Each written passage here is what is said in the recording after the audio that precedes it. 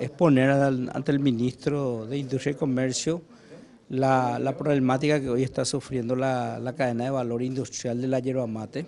especialmente en lo que se corresponde o en lo que corresponde al sector más bajo de la cadena, que es la producción primaria, quien es el responsable de proveer de materia prima a la industria nacional de la hierba. Desde ese punto de vista, el ministro tomó con mucho interés la situación y encomendó la conformación de dos grupos de trabajo. En primer lugar, un grupo de trabajo que eh, actúe de manera inmediata en algunos aspectos que tienen un carácter operativo, como ser incluso posibles líneas de financiamiento para el sector. Y en segundo lugar, la conformación de un grupo de trabajo de estudio de la problemática, los efectos de encarar temas estructurales como ser eh, la naturaleza misma del sector, ¿verdad? Eh, toda la cadena de producción. Hey, hasha abedizo el ministro eh, y me terapia